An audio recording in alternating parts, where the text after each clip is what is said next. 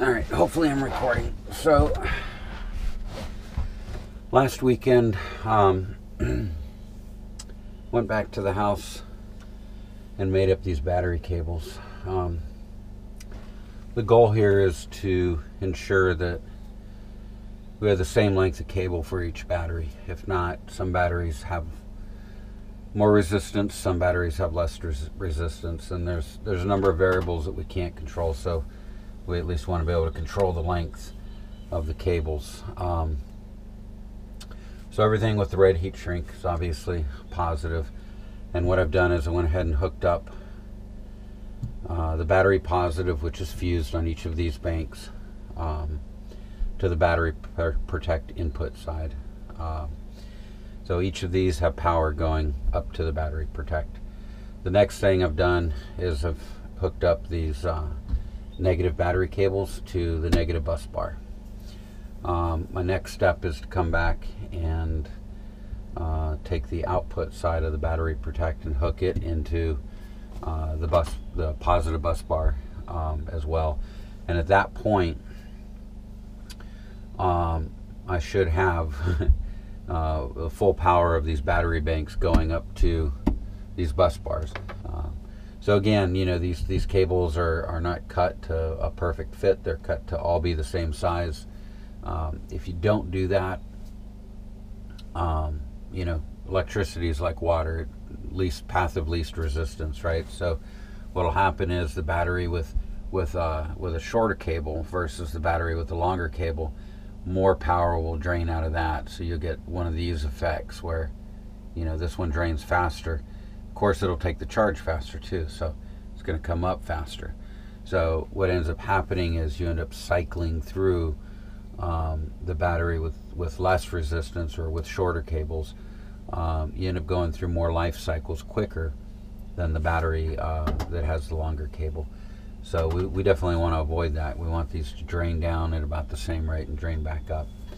Um, what I'm going to do now is I've got my remaining uh, positive cables that will come off here uh, and all go into this bus bar. Alright guys, the more wires I hook into this, the scarier it gets, to be honest with you. Um, yeah, a lot of power going through here. Fortunately, everything's fused, but I do have all this exposed. I'm eventually going to want to put a board in here um, to, to reduce the exposure of all these connections. Um, i have to make sure it'll still vent, but beyond that. Alright, so we're just going to start hooking in these cables.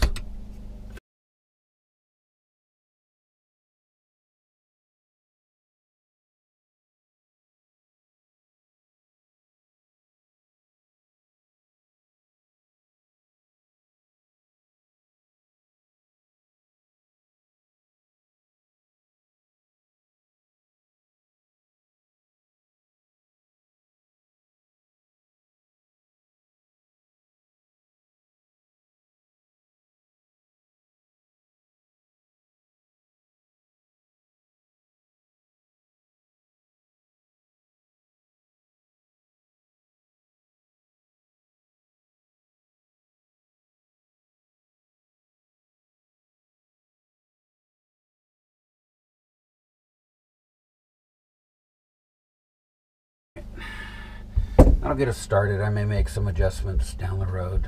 Um, but I think once I get some zip ties in place and get these tied up, it's going to look pretty good. Um,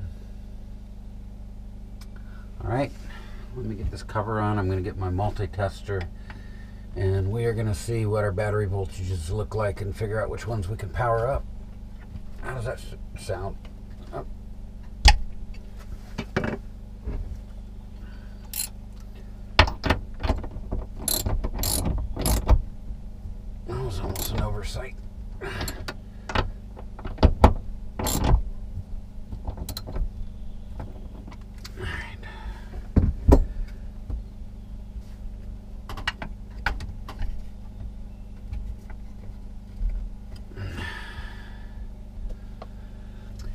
Sorry guys if you can't see this, but um, it's important that I do, so. Going to take a look at the first battery. And um, 26.6. The second battery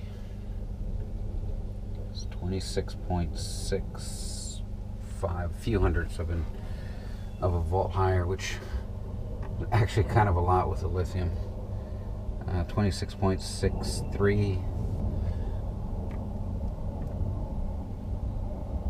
26.45 so that one is really low compared to the other ones. Come in. And see what we're gonna get here. Helps if I'm on the right setting. All right. We are on DC amps and I'm gonna move it up to 400 DC all right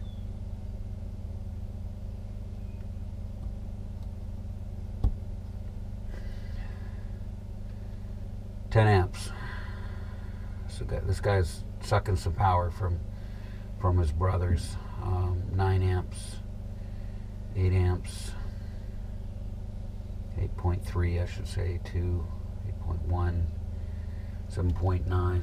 So he's uh, he's drawing some some power down. All right, guys, we are 400 amp hours tied together. Um, we're going to let this rest for a little bit, then I'll come back. Um, I'll check the voltages. So I went ahead and made this guy. Um, he'll come right in here. Probably a little taller than I want, but we'll make do. Um, I like to leave most of the space open here for uh, the charge controllers, the solar charge controllers and the, the fuse panel for the, the solar panels, but I think we will be all right. Um,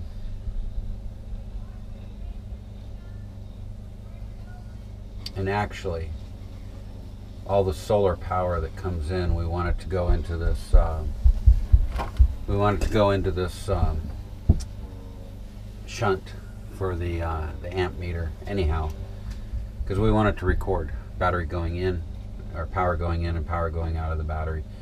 Um, we don't want to hook anything else into these directly. Um, let me take that back. As far as the, the negative uh, is concerned, uh, we'll have this here. We'll have the shunt coming off of it. And um, we want everything to come in and out of that shunt. So if I have to, I'll get another bus bar down the road um, if I have too many things hooked up to it, then I can uh, run the shunt into that bus bar and run any other 24 volt stuff off of it.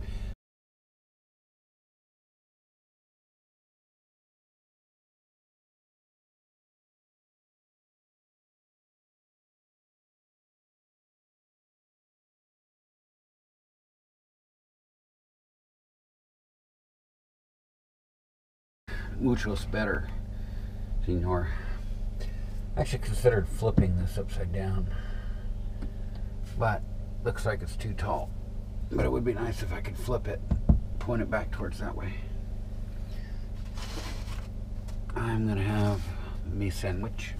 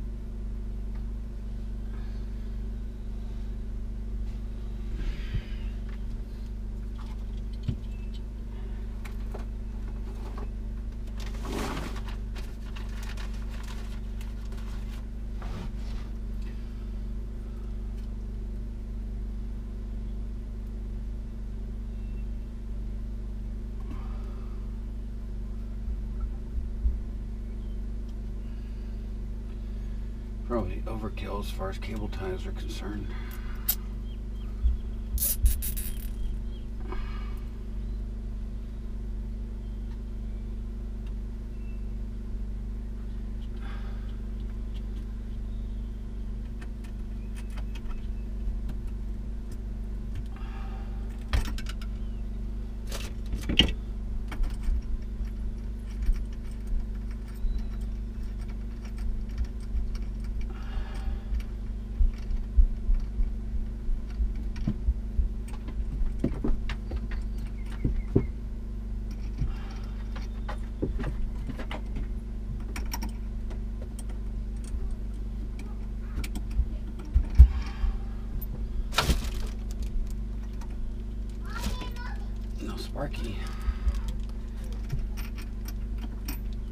Maybe that means we're not reporting 24 volts anymore. But I'm going to fire up this amp meter or battery monitor and we're going to find out.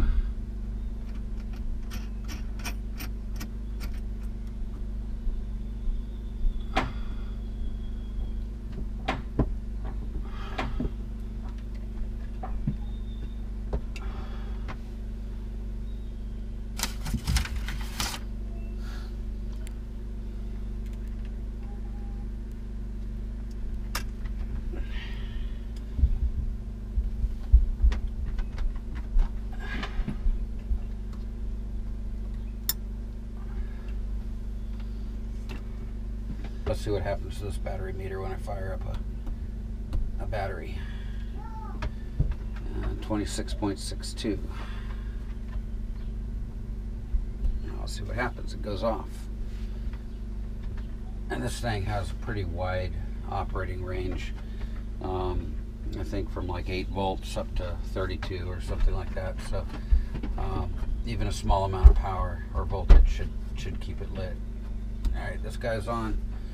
26.64.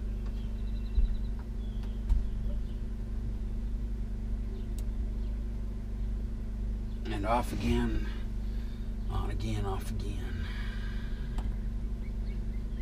You guys notice I talk to myself a lot. 26.62.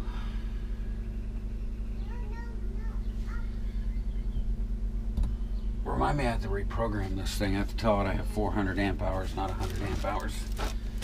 If not, it's going to think I'm empty well before I am.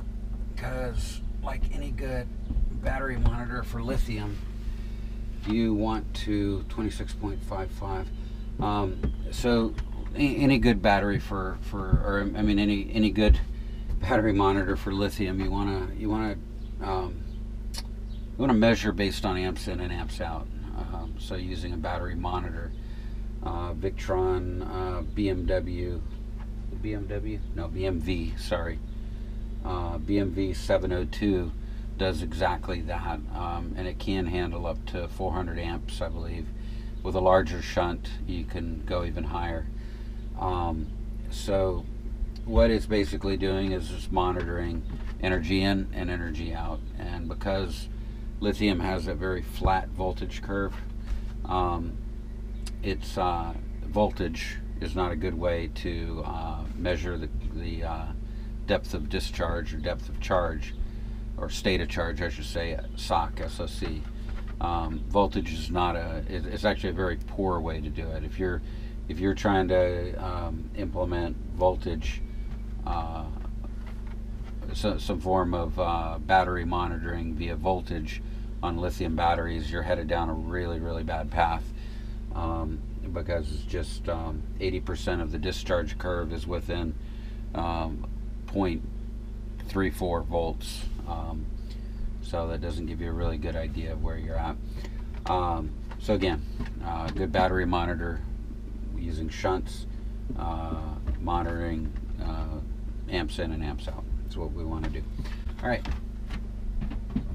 Pull the plug on this last one here, and the meter goes off. Exactly what we wanted to see. I need a break, and uh, when I come back, we will resume our programming and uh, start getting the Victron in here.